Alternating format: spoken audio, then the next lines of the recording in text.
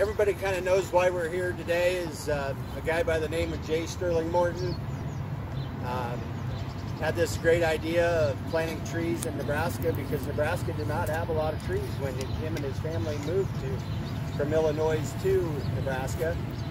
And uh, he found that having trees preserved the, the environment. They, you know, uh, erosion, stopped erosion, was healthy for everybody to breathe fresh air. Uh, windbreaks was a big thing because there was so much, so many big winds in Nebraska. So why not plant a big shelter belt and stop some wind and protect your protect your homestead? I found a a, a poem by uh, May B. Bryant, and it's Sweet Arbor Day. We greet you with a merry song of spring. We plant our trees in ivory for the future's welcoming.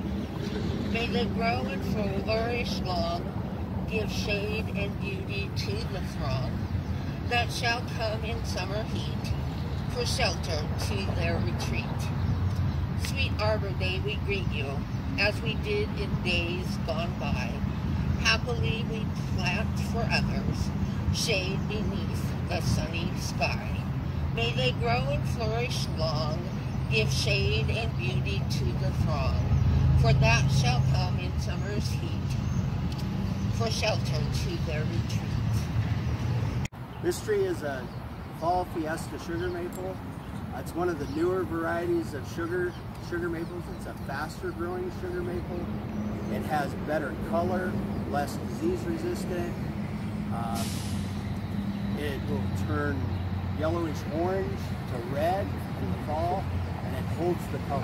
So someday when this tree, we have a few down at the Arboretum right now, fall fiestas, and I, it's one of our biggest trees we have comments from people about when it starts to fall color, because they're like, wow, what is that tree? It's so beautiful. It's orange, red, yellow, beautiful.